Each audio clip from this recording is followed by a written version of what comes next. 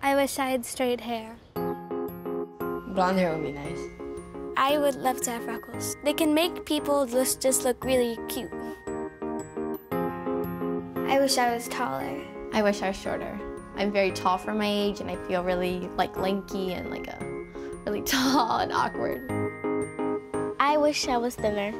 I wish I was stronger to play like more sports and like be involved in more things. I would like to have lighter skin.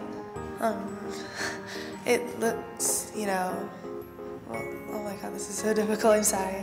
I would like to have darker skin. I have really pale skin, so it'll stick out.